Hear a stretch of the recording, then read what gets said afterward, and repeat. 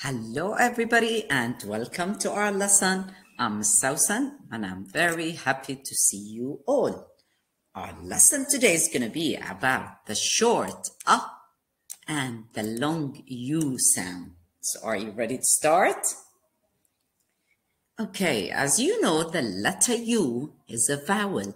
That means it has two special sounds the a sound and the u sound.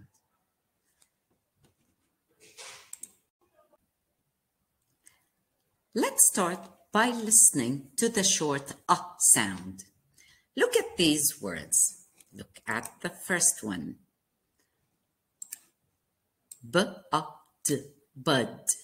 Did you hear the a sound in bud? Look at the next one. B a g bug. Did you hear the a sound in bug? B a g now let's read this one. B a n bun. How about this one? B a s bus. And this one k a b cup. And the last one k a p cup. Now let's read these words again quickly and make sure you listen to the uh sound at the middle. Bud, bug, bun, bus, cup, cup. Did you hear the uh sound in the middle?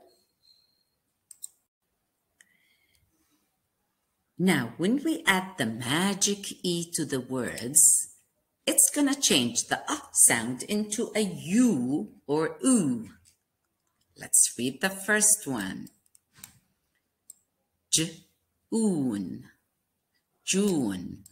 And June is one of the months of the year. Now let's read the second word. Mule. Did you hear the U sound in mule? Now this one mute.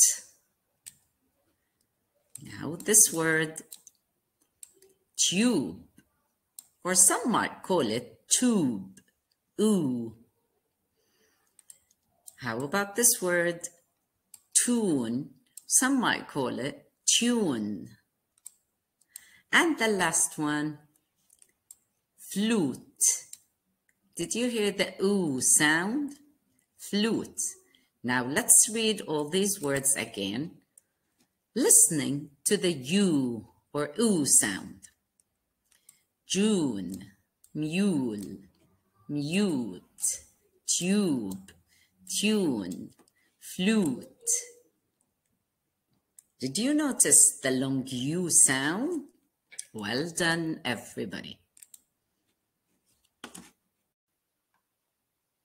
Okay, everybody. Now let's open our My View Books K4 on page number 203. Words for short and long U. We need to read and circle the correct word that matches the sentence.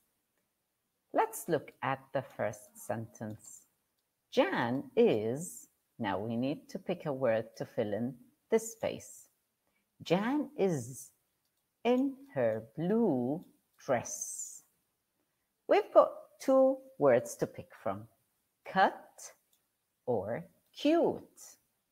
So what do you think? Jan is cut in her blue dress or Jan is cute in her blue dress. Look at Jan in her blue dress.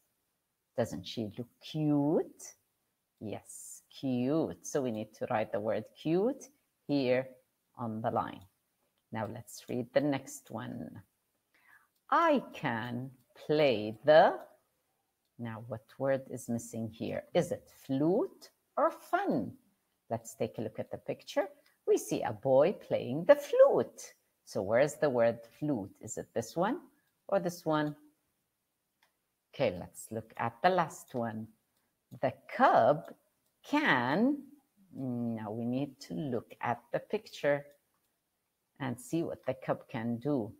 Can the cup run or rood? The cup can run or the cup can rood. What do you think? Circle the word that best matches the sentence and write it here on the lines. When you finish your work, take a picture of it and send it to your teacher. Have a good day for now.